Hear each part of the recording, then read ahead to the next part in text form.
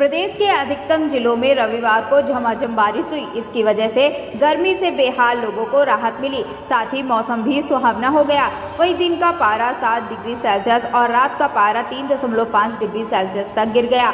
आपको बता दें कि प्रदेश में सबसे अधिक सड़सठ दशमलव दो मिलीमीटर बरसात रायबरेली में रिकॉर्ड की गई। वहीं प्रदेश में रविवार को दोपहर बाद कई स्थानों पर मूसलाधार बारिश हुई तो कई छुटपुट बूंदाबांदी हुई। आपको बता दें कि कानपुर, उरई, फतेहपुर, बांदा, सुल्तानपुर और झांसी में तीन मिलीमीटर से भी अधिक बारिश हुई।